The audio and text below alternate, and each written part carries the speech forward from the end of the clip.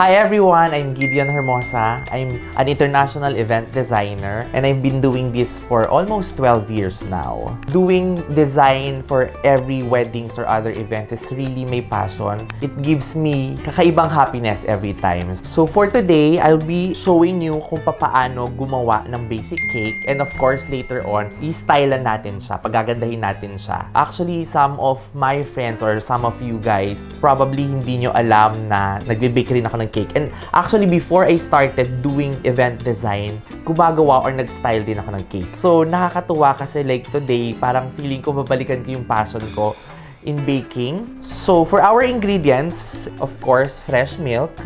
We have the vanilla extract, baking powder, salt, egg, melted butter, white sugar, and flour. So, una muna natin i-combine yung flour natin, yung baking powder, and yung salt. Actually, nag-start ako mag-design ng weddings 12 years ago sa Pangasinan. Hindi ako talaga based in Manila. Naging based lang ako sa Manila mga 6 years ago. From there, nung dumami na yung clients ko sa Manila, tsaka ako lumipat dito. But really, nung nagbe-bake ako, nasa Baguio ako nung time na yun. Before moving to Pangasinan. I think almost 15 years ago. Ganun nakatagal. So I was like 19 or 20 years old that time. Tapos, ginagawa ko siyang business. Ang idea ko was like basic vanilla cake. Nilalagyan ng icing. Tapos since nasa Baguio ko, I love decorating cakes with flowers and strawberries. So yan, na-mix na natin yung tatlong ingredients natin. Ngayon naman, ang imimix natin will be the egg white, the butter, and of course, the fresh milk.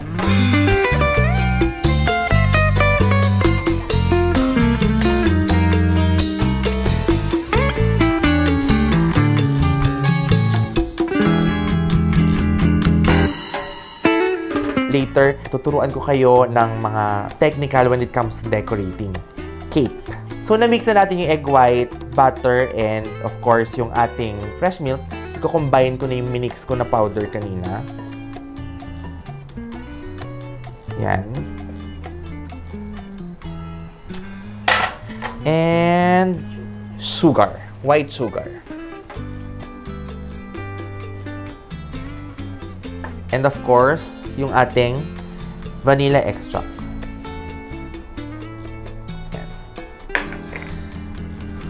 So, nung nag-start ako actually, basic vanilla cake din yung una ko natutunan na i-bake na cake. So, before, na-employ ako sa isang coffee shop sa Baguio. And since I love baking, na-assign ako sa kitchen, which every day yun ang ginagawa ko. I'm baking different cakes na ino-offer namin sa coffee shop. Siguro, ginawa ko yan for mga 2 years din. But whenever people ask me paano ako nag-start and all, usually kasi nadadivert na yung conversation doon sa nag-start talaga ako mag-design ng weddings eh. But karamihan or let's say most of my friends talagang hindi nila alam na before nagbe-bake ako ng cake for weddings. Well, actually mga ano lang naman yan. Siguro mga three weddings lang yan na ginawa ko for friends. My favorite dessert and pinaka-favorite ko talagang gawin, Sans Rival. Medyo mahirap siyang gawin kasi kailangan ng consistency and yung oven kailangan maayos yung pagkakainit. Tsaka yung, pagmimi- yung, yung, yung pagmix ng ingredients importante kasi medyo critical siya. So, ito na yung um, baking pan natin. Nag-grease na natin siya para hindi mag-stick yung butter natin kapag binake natin. And now, ita-transfer natin yung cake batter natin dito sa pan.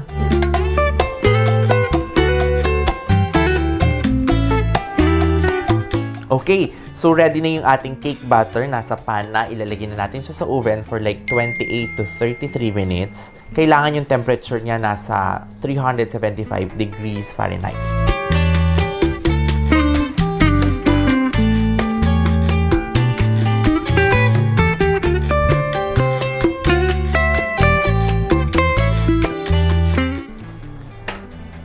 Yan. Okay. So, ito na yung na-bake natin na vanilla cake. So, we have different sizes. Kasi later, tuturuan ko kayo kung paano mag-decorate ng layered cakes.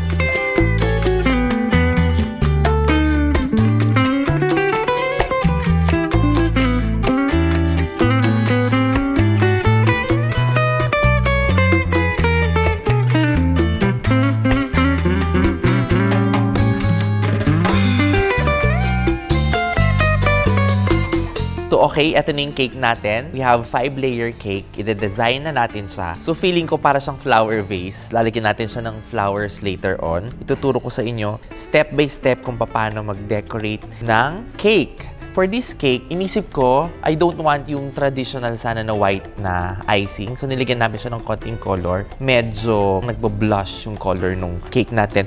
To blend, of course, with pastel flowers na gagamitin natin later. Okay, so for this cake, gagamit tayo ng edible flowers made of gum pastes. Lahat ng gagamitin natin na gum paste flowers are available from Gavinos.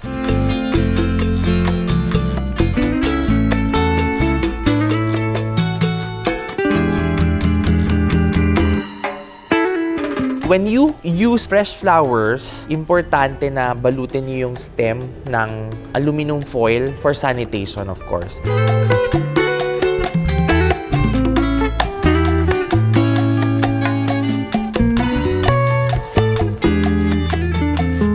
Actually, uh, one of my favorite flower is really peonies. But it always comes during springtime, which is usually sa Europe, May.